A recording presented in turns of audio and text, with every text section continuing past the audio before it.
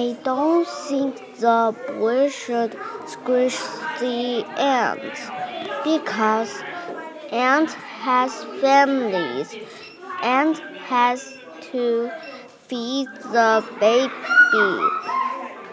The boy should not squish the ant. The